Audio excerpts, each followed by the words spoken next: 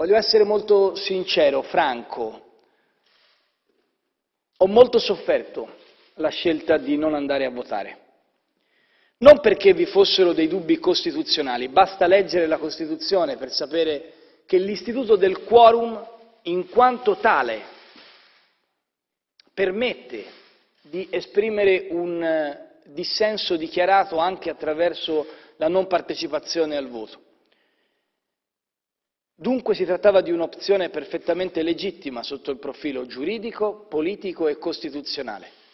Ma ho ricevuto una email da parte di un ragazzo che ha compiuto 18 anni nelle settimane scorse, un ragazzo classe 98, che mi chiedeva un consiglio e io alla fine a lui non gliel'ho dato, che mi chiedeva un consiglio sull'andare a votare o meno perché aveva l'emozione, provava il brivido di votare per la prima volta.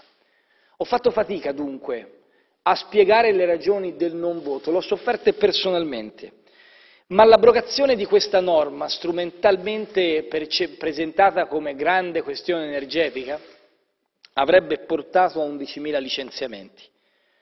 Credo che indipendentemente dai suoi stati d'animo, il Presidente del Consiglio debba stare là dove si rischiano 11.000 posti di lavoro. Anzi, più correttamente, là dove si rischia anche un solo posto di lavoro.